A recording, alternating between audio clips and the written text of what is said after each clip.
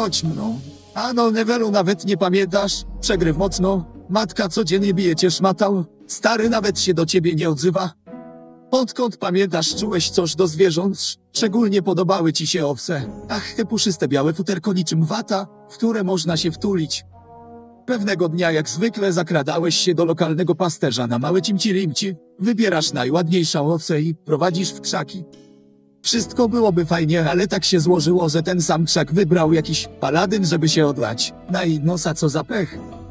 Kiedy widzicie nagiego sowcą, dostaje ataku obrzydzenia i złości. Natychmiastowo zakuwacie w kajdanki. Obrzydliwy degeneracie. Masz szczęście, że w kopalni przydadzą się tacy jak ty. Inaczej już byś tu leżał w plamie krwi. Bla bla. Pierdoli coś o łamaniu prawa i o wojnie z orkami. Następnego dnia jesteś już w górniczej dolinie. Każą ci kopać rudę.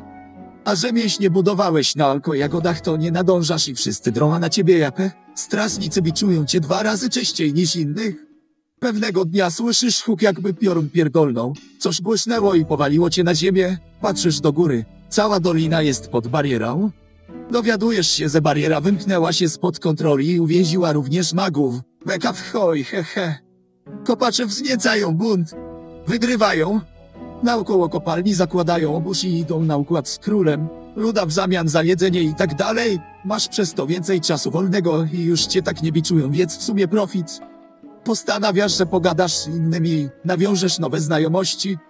Za każdym razem, jak zaczynasz z kimś rozmowę, to każą ci spierdalać albo po prostu spuszczają ci w pierdol. Jeden z tych troglodytów mało cię nie zabił, uderzając w twoją ktań. Dostajesz ksywkę w przód.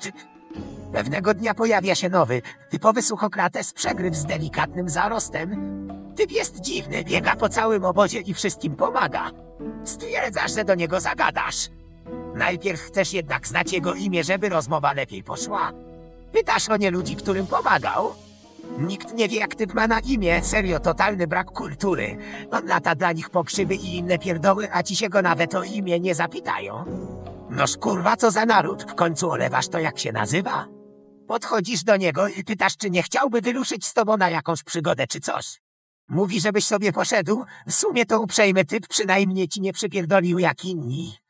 Pytasz go, czy też lubi zwierzęta. Nic nie mówi. To pewnie znaczy, że lubi. Nareszcie nie jesteś sam i nie musisz ukrywać swojej orientacji. Opowiadasz mu o swoich przeżyciach z owcami. Wyciąga miecz i potrzyna ci gardło. Nikt nie przejmuje się twoją śmiercią. Brak profitu? Subskrybując kanał, oceniając i komentując ten film doceniasz moją pracę i wspierasz rozwój mojego kanału.